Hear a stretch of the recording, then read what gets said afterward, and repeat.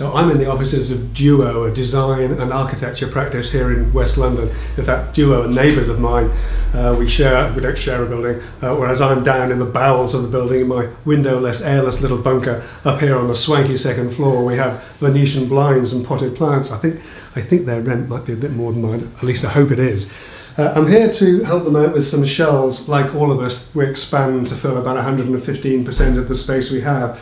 And I'm sure moving some stuff off a desk and off a work surface onto some shelves is something we can all get to grips with. Um, the shelving system we've chosen for this is, here in the UK at least, it's a called a Spur twin slot shelving system. You might know it by another brand name, but it's a, a pretty common the world over. Uh, it's steel uprights that are fixed to the wall and steel shelf brackets that slot in so they're height adjustable. It's pretty robust. It's a little utilitarian, um, but with a little more careful treatment of both the material and how we affect it, we can make it a bit more palatable for either domestic or office use. One of the things we're going to do is use uh, a nice three quarter inch 18 mil birch ply for the uh, shelving, and we're leaving the cut edges exposed but just putting a slight profile on it just to soften it down a little bit. We'll have a wax finish to give it a nice handle and a nice feel, and we'll notch it around the uprights so the shelves sit nicely into the, uh, into the wall. I've made a full-size shelf template in MDF and I'm offering it up against the brackets so that I can mark the position of the uprights and their depth.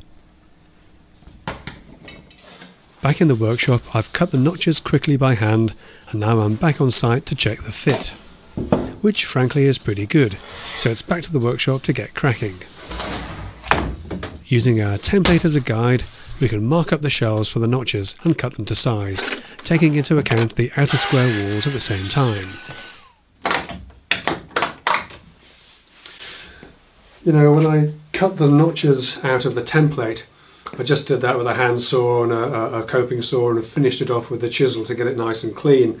Um, but for cutting the notches out of the actual shells, I've been sort of agonising a little bit as to what's the best approach for that. Um, the, the problem is, of course, are, this is the finished material, so you want it to look quite nice. So you need a good clean cut on there. Now I could enlarge the notches in the template a little bit and, and cut them out with a, a, a flush trimming bit a template bit, you know, with a with a bearing guide. Um, but then because you've got the corner, you've either got to finish the corners by hand or just accept that it's going to be a little bit wider, a little bit deeper than perhaps you might want. Uh, you could do it by hand with a coping saw. a lot of work for me because I'm lazy.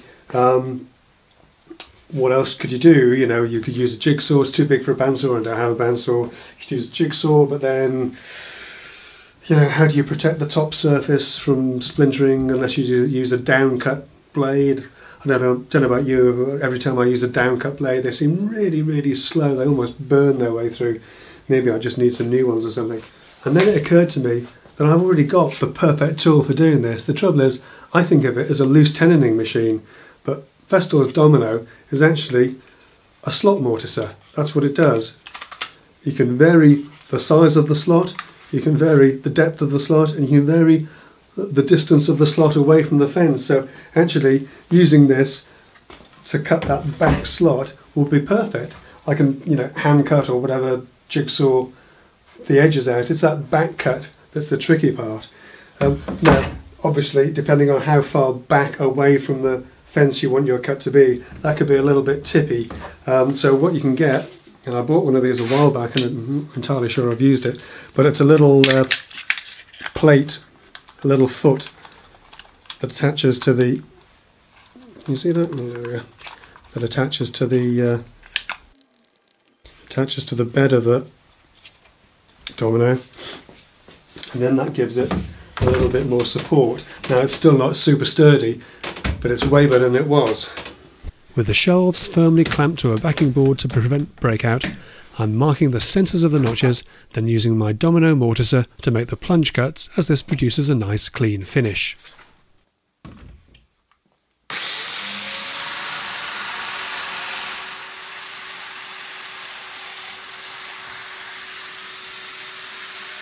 Even with the domino at its widest setting, I can't quite cover the full width of the notch, so I'm shifting the domino either side of the centre mark to widen the cut until we have it covered.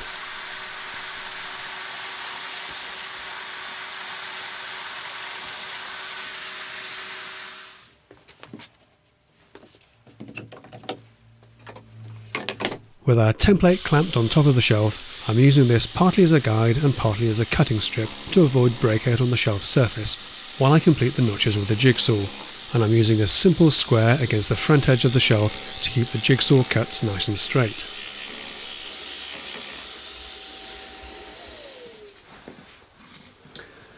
You know, I know some guys love their benches. Building a workbench is one of those kind of rites of passage. something I've never really done. Um, these old things, these are, I treat these like a bit of a consumable. You know, they're, they're going to be replaced over the course of a year or two or three or whatever, especially with this colour.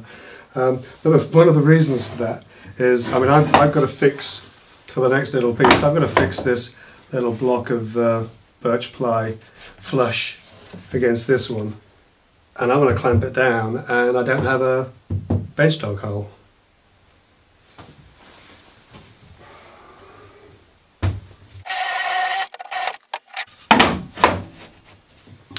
And now I do.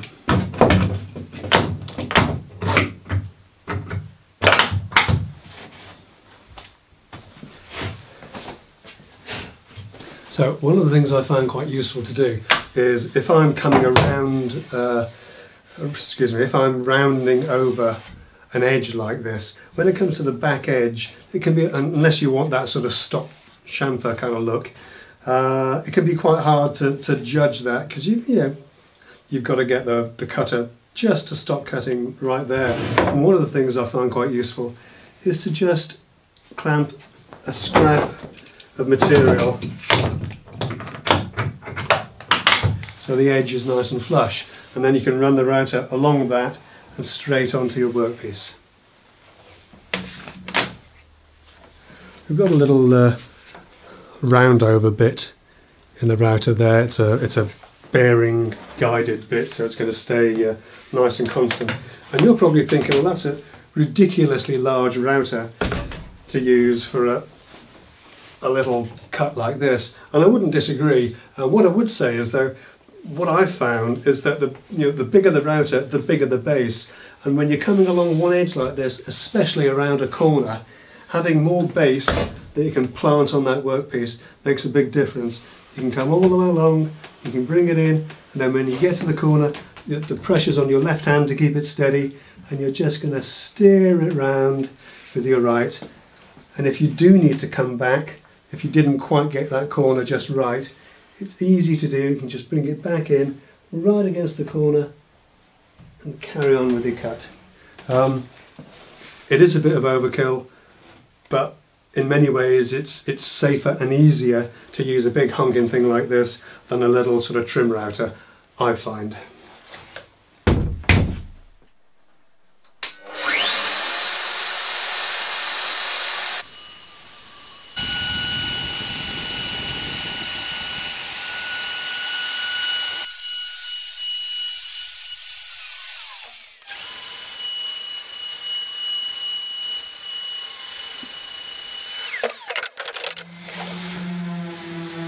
After routing all the edges, each shelf gets a good sanding over, working all through the grits to finish with P320. Then a quick wipe over with the tack cloth, before applying a beeswax finish with a stockinette cloth, working the wax well into the plywood,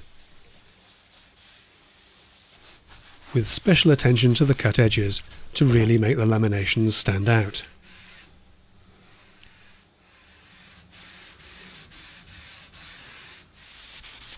After leaving the wax to settle overnight, we can give the shelves a gentle buffing with a soft cloth in the morning before taking them upstairs and settling them into their new home.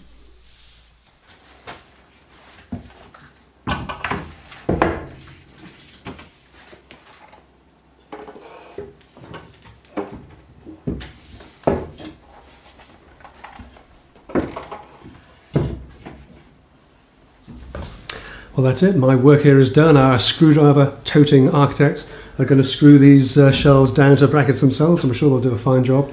Uh, and really, it's just a question of um, a little bit of attention to detail, which can elevate something from a fairly simple little set of shelves to something that's a little bit nicer, notching uh, out for the uh, shelf uprights, just a little bit of profiling on the shelf edge, and a bit of wax to give it a nice handle. Um, there we go. It's a nice, simple, easy little job, very close to home for me as well. Uh, Thanks for watching. I hope you've enjoyed it. I hope you might have learned something. If you liked it, give it a thumbs up, share it freely amongst your friends, and do consider subscribing. Then you'll be notified whenever I post something new. But from here in West London, big thank you and a shout out to Duo Architects as well for both the job and letting me film here. Uh, that's it for this week. I hope to see you again next time. Take care.